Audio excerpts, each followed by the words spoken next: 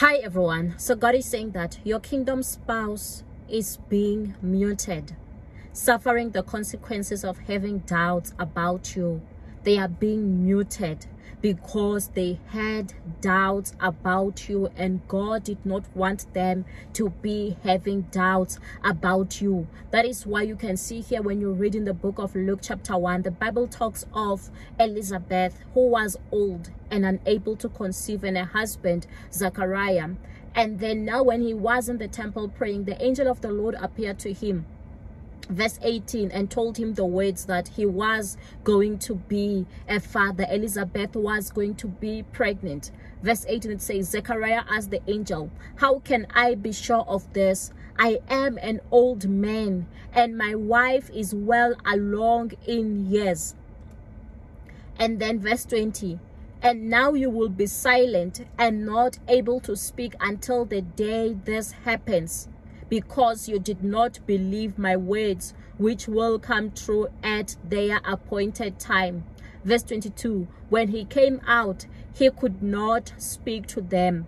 They realized he had seen a vision in the temple, for he kept making signs to them but remained unable to speak. Hallelujah. So you could see that now Zechariah became mute now the angel of the Lord silenced him because of his unbelief, because he doubted, because he doubted that uh, Elizabeth, his wife, could conceive. He did not see the potential in her to become a mother. He did not see the potential in her to deliver a baby. And that is why now the angel of the Lord muted him. That is why even when he wanted to get there, go outside and speak to other people, he was not able to speak to them. He could only sign to them because now he lost his ability to speak. Hallelujah.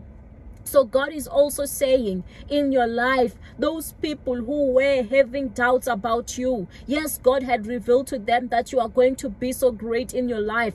God had revealed to them that what they see, the image that they see in you is not the final image. They should not judge you based on what they see now because God is still working on you. God is saying that for their unbelief, for them having doubts, He's going to silence them. He's going to mute them. Now they won't be able to continue continue with life as usual until the appointed time, until they see the good results in your life, until they see the work of the Lord in your life, until they see God transforming your life in the mighty name of Jesus, until they see you delivering your purpose, delivering that car, until they see you being great in this life in the mighty name of Jesus. God is also saying that they are going to suffer regret. Some of them, yes, they might not even be your kingdom spouse. Some of them, they are your prodigals. Some of them, they are your exes. Now, when the appointed time comes, when God fulfills his promise upon your life, many are going to be so shocked because they just saw you as someone who's old. They just saw you as someone without potential. They just wrote you off before it was time. They are going to be so shocked